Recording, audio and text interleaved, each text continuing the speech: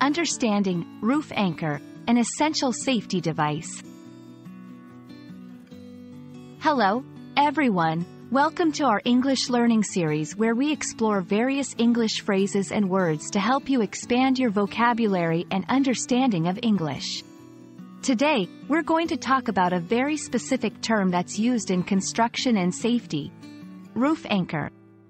So, let's dive in and learn about what it is, how it's used, and the importance of this device in ensuring safety.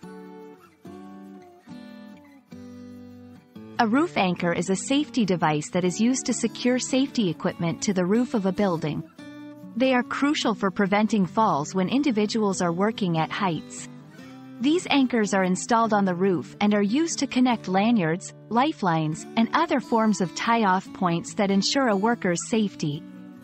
The term, roof anchor, can be broken down into two parts. Roof, which is the top covering of a building, and anchor, which refers to a device that is used to secure something firmly in place. When combined, these words create a term that denotes stability and safety at high elevations.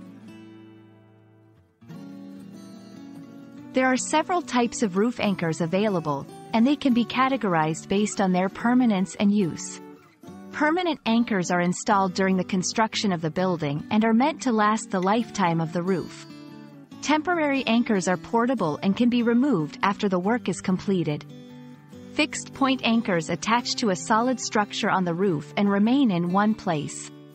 Horizontal lifelines are systems that allow more mobility along a horizontal path on the roof.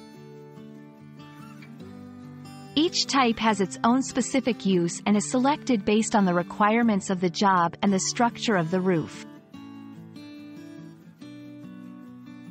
Roof anchors are critical for preventing accidents. They provide a secure point of attachment for safety harnesses and lines, which can save lives by stopping a fall before it results in serious injury or fatality. This makes them a key component of any fall protection system. In many countries, the use of roof anchors is not just a safety measure but also a legal requirement when working at certain heights.